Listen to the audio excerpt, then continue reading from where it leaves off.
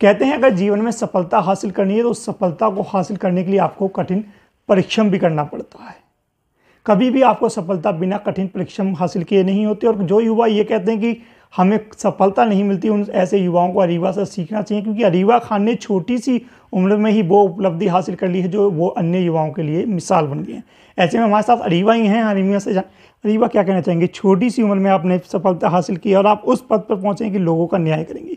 किस तरीके से आपने तैयारी करी और क्या वो था पल की जब आपको ये पता लगे आपका सिलेक्शन हो चुका तैयारी मैंने आई थिंक मेरे कॉलेज के सेकेंड ईयर से ही शुरू कर दी थी। जब मैं कॉलेज गई तो मैं थोड़ा अनश्योर थी कि मैं जुडिशरी परस्यू करना चाहती हूँ या फिर लिटिगेशन तो कुछ महीने मैंने एक्सप्लोर किया लिटिगेशन को लेकर कि मैं इंटरेस्टेड हूँ, नहीं हूँ।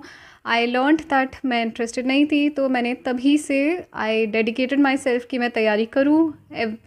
Uh, मैंने बहुत ज़्यादा शैलो तैयारी पे कभी परस्यू नहीं किया। मैंने हमेशा कोशिश की कि मैं एक अच्छा और स्ट्रॉन्ग नॉलेज बेस ड्यूटीफुली तैयार करूँ।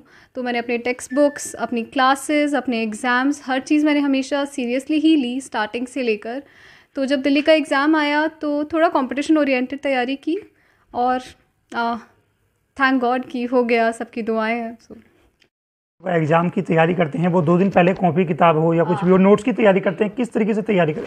जी तो जब तैयारी करते हैं तो मैंने अपने कॉलेज में जो नोटिस किया है कि बच्चे हमेशा शॉर्टकट्स ढूंढते हैं कि चलो हम पास्ट ईयर लगा लेते हैं खाली से या हम दुक्की पढ़ लेते हैं।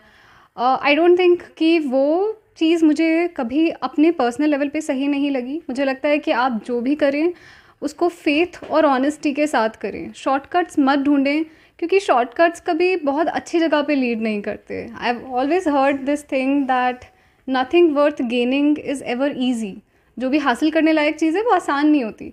तो आप कोशिश करें कि आप मेहनत से और फेथ के साथ तैयारी करें और आप अपनी क्लासेस एग्ज़ाम हर एग्ज़ाम सीरियसली लें। खाली कंपटीशन ही नहीं तो उससे आपके अंदर मेहनत की आदत रहती है।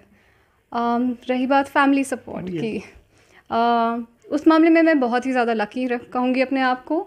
मेरी फैमिली में मुझे बहुत वाइड सपोर्ट है। फॉर्चुनेटली मेरे ग्रैंडफादर मेरे नाना कुंवर छोटे खान जब मैंने अपना मेंस दिया उसके बाद उनकी डेथ हो गई।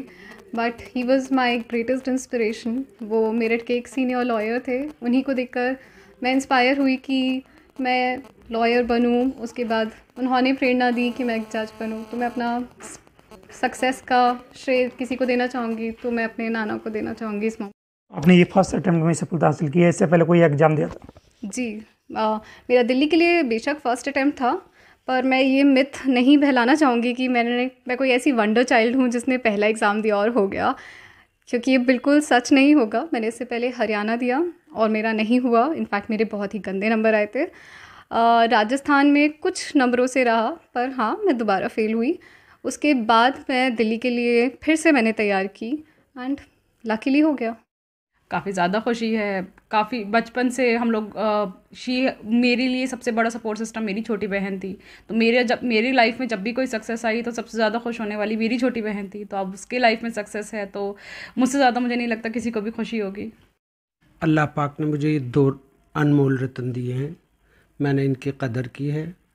और बस शुक्र है ऊपर वाले का कि इतनी अच्छी बेटियाँ मुझे दी। नहीं मेरे लिए तो गोल्डन मोमेंट है।